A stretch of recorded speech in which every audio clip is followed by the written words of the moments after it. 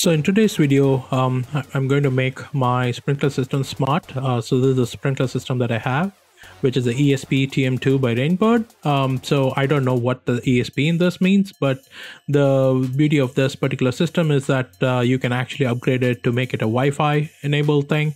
And that's what we're going to do. So it has eight zones. I only use six zones out of this, uh, but this also has a uh, port for putting a rain sensor and um, basically that's what I have attached as well which did not come as a part of the standard installation uh, when we bought the house so this is just a Wi-Fi module uh, that you can just attach into the uh, irrigation controller and then you can control it using Wi-Fi using their app and also Home Assistant so in Home Assistant, uh, we have this Rainbird module that has been part of Home Assistant since version 0.61, which is kind of like a long time ago. And all you have to do is put in your IP address of your module, put in your password and the amount of time that it takes uh, for every zone to get triggered. Uh, that is the default time. And then you can define the name of each zone. So I'll show you my configuration. So this is my configuration. So basically I just have my IP address, my password, and I've named the different zones uh, with different names. And once you have this in your Home Assistant, it just uh, brings up uh, different things that you can do with this uh, irrigation system. So if you have some kind of object detection system in your home assistant, you can turn on sprinklers to deter certain people or certain animals on your um, on your lawn and all those kind of automations. Again, that is beyond the scope of this video. So all I'm trying to do is get this into home assistant. So once you add the integration of uh, Rainbird into Home Assistant, they will show up as different switches. Um, so basically every time you turn on a switch, that particular zone is going to turn on. And something really useful that I found is actually the rain free sensor. That is that sensor that I attached to my uh, e ESP TM2. Um, so that sensor can give us a lot of information on what the weather is outside in terms of whether it's freezing or not, or uh, we should skip um, the irrigation and stuff like that. So you can create a lot of automation based on um, the values that you get from this sensor. Um, so that is kind of very useful. And basically right now, um, none of this is going to work because I'm going to winterize. It's now end of the season. So basically the fall is done and we are getting ready for winter. So I'm going to turn off the irrigation controller and I'm going to flush the lines with uh, air and then we can proceed from that and get ready for winter and next uh, spring we can start um, using this uh, particular irrigation system. So in my case, I need to first turn off the water that goes to the sprinkler system.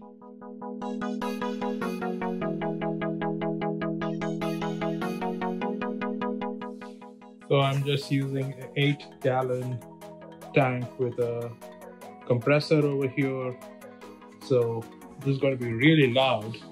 We'll just turn it on and set this value to be around 90 to 100 psi. And I'm just using a flexible 100 foot hose that I'm going to connect to the sprinkler system.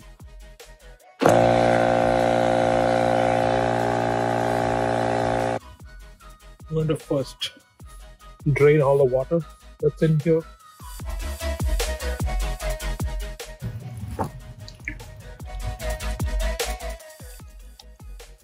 So all the water that's in here is going to come out. So this guy. The first thing that you do is actually take the black cap off. Just rotate it counterclockwise. And then remove the white thing out there. Try to remove that section. Before that you can remove the spring from the top um, and then try to push that a little bit that particular piece of metal.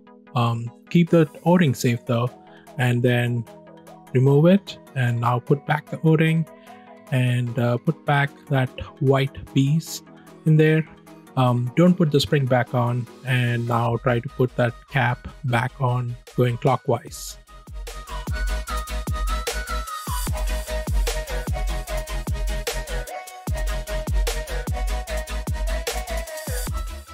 Connect 100 psi hose. Okay, so now let's. So now the valve has now closed this. It's created a good vacuum, 100 psi.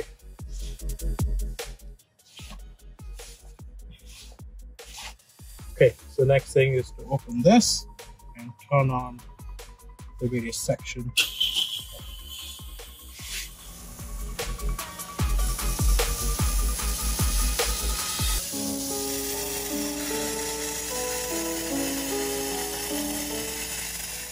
Okay, so now we can go to the next section. The first one is done.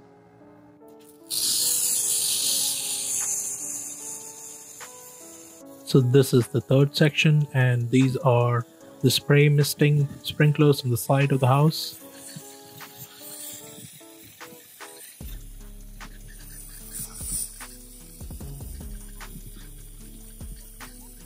So this is the fourth section and that is the back of the house.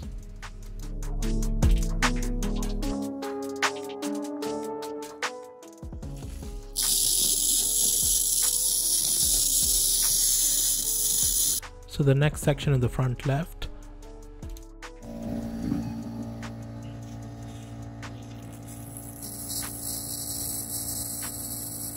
And the last section is on the left side of the house.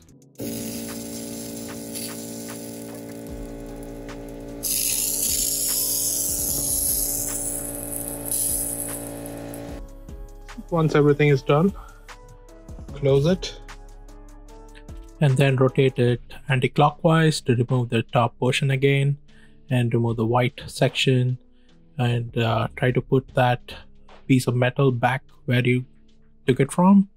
And uh, all that does is keeps that white thing upright. So put that white thing back in and uh, make sure that it is in the center and uh, then finally put in the spring back onto the top section of the backflow preventer make sure to put the o-ring back in its position. If you lose o-ring try to get and find the replacement and rotate it clockwise. That's it. You're done.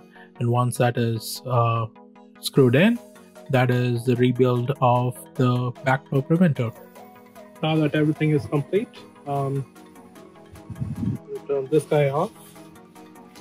Put this in a 45 degree angle. Put this guy 45 degree angle